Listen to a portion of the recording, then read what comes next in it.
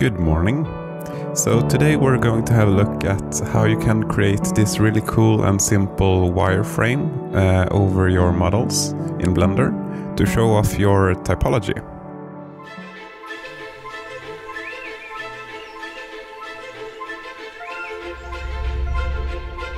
So this is a model I created in Autodesk Maya. I then imported it to a Substance where I textured it and then imported it to Blender for the final render. Um, it has uh, decent uh, topology, which I want to show off to my future employers. So therefore, I want to create a cool wireframe to show uh, yeah, the, the, employers that I'm like good at topology, uh, which you might want to do as well. So here you can see the model in wireframe mode. And there are lots of ways to create a wireframe render in Blender. But I found like most of them are really complex and uh, weird. So uh, in this video I'll show you how to create one very easily and very efficiently. So firstly we'll set up the scene here. So we're going to position the camera uh, somewhere around here. Then by Control Alt 0 pressing, you snap the camera to the view. And then position the camera to your liking. And what we're going to do is we're going to create a simple turntable where the model spins around in a circle. So uh, this step is primarily just up to your own taste. Uh, so uh, yeah, uh, so what we're going to do is we're going to spin it on the Z axis. So go to the first frame and then insert a keyframe on the rotation. And then we'll scale this up a bit. And then jump to the end. But this is important. Go one frame further than the actual timeline. And then rotate it uh, 360 degrees, either clockwise or counterclockwise. I would suggest counterclockwise as uh, TurboSquid um, recommends uh, counterclockwise for uh, turntables. And as you can see, uh, it has um, it's a full loop on 201 frames, but not 200. And by doing so, you get a perfect loop when playback. So if we have a look at it, you can see that it turns then when it hits 200 it starts over again. And I have the keyframe set to uh, linear at the moment, which is uh, something that your keyframes might not be, because I think on default they're set to Bezier.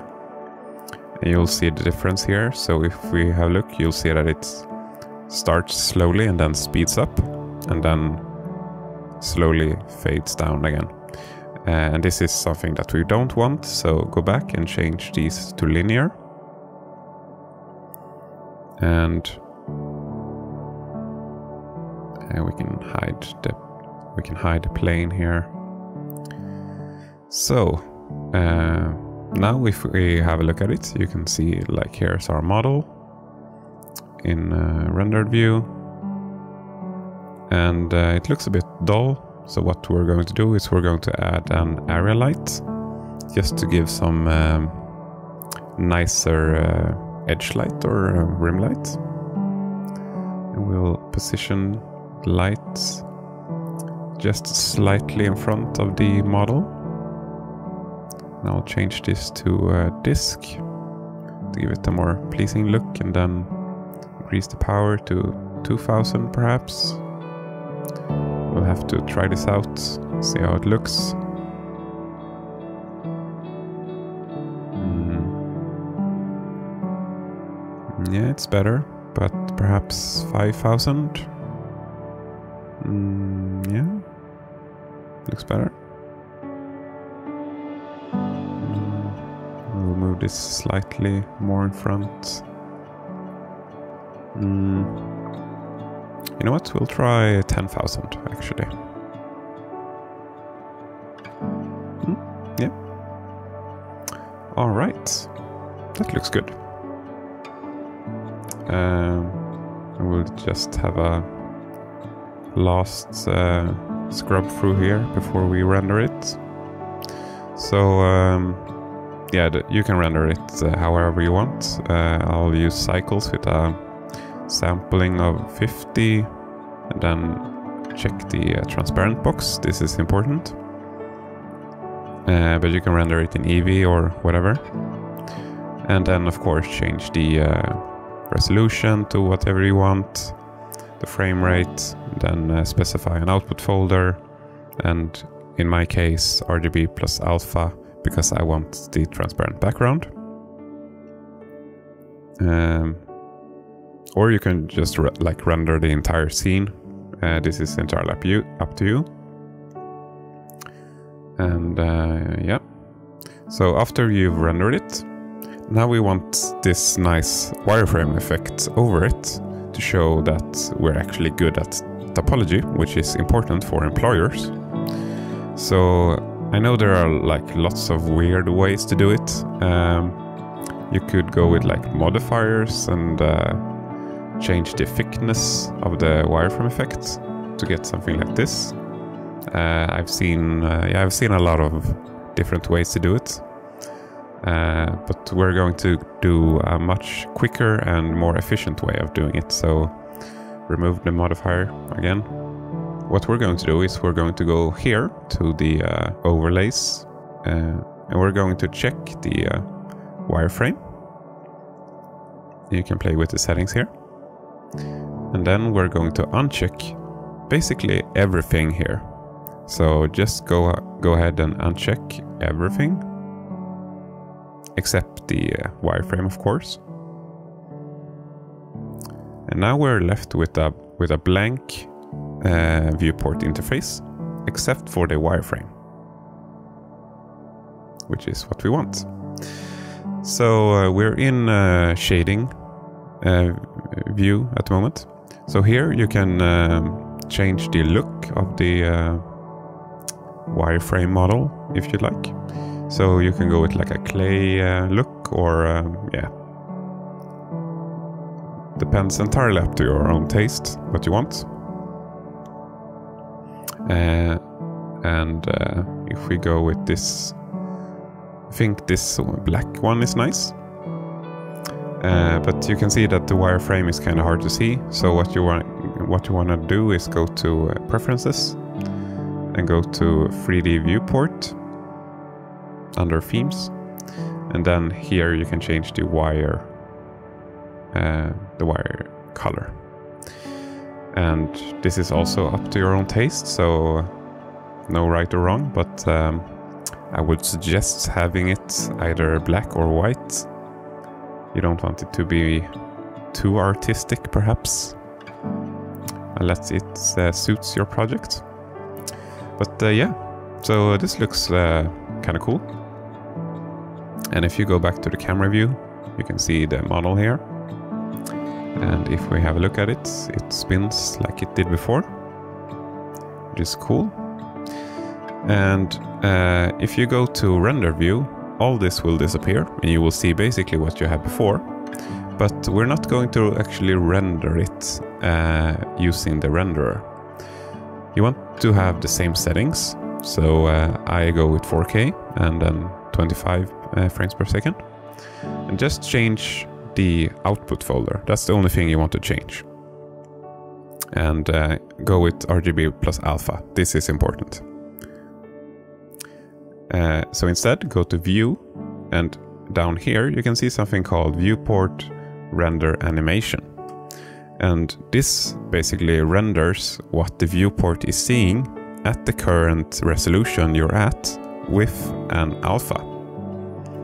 And it's uh, quite fast. As you can see it renders um, yeah very fast. So which is nice. And then just go ahead and render the entire turntable and as mentioned it renders whatever is in the uh, 3D viewport so if you have the overlays that we unchecked before or you have something like a plane or something it'll show up in the uh, in the render so go ahead and uncheck everything except for the model itself.